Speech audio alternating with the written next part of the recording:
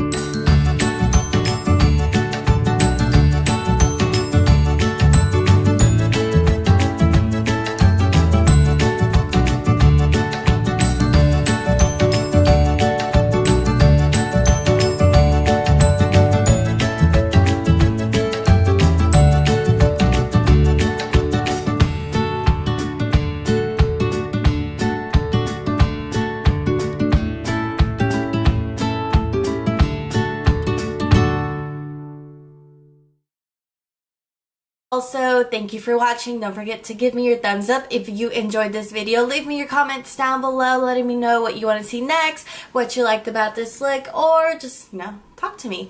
And don't forget to enter the giveaway. The giveaway will end on forget to follow all the rules are in the description box. You are entering to win this palette right here and you guys I am telling you I love it for fall. I know it says like Tartelette in Bloom which kind of makes you think spring but it's perfect for fall. Beautiful colors in here. Don't forget to enter and subscribe down below. Thanks for watching and until next time.